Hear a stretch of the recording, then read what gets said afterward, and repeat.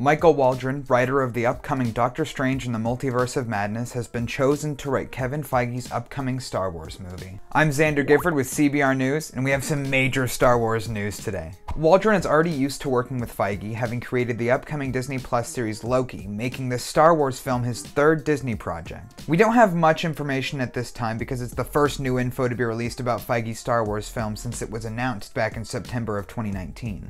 Quote, with the close of the Skywalker saga, Kathy is pursuing a new era in Star Wars storytelling, end quote.